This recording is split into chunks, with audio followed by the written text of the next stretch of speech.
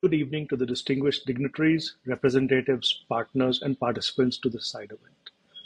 Over the last two decades, hydromet hazards, especially floods and droughts, have affected more than 3 billion people directly or indirectly. Nearly 95% of infrastructure loss and damage reported between 2010 and 2019 were due to water-related disasters. These have significant impacts on water infrastructure, including damage to treatment plants, reservoirs, and distribution systems. Disruptions in the availability of clean drinking water and water supply have huge impact on lives and livelihoods of communities.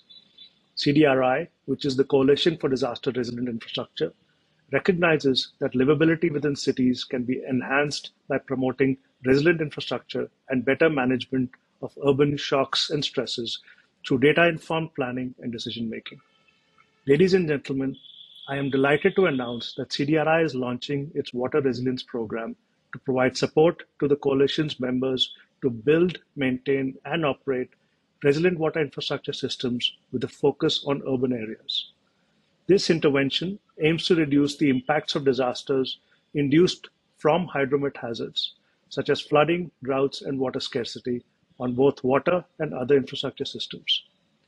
The program will inform urban service delivery, economy, and livelihoods, catering to 100 million people globally. We thank the members of the coalition, including the Netherlands government, for their support towards shaping this initiative.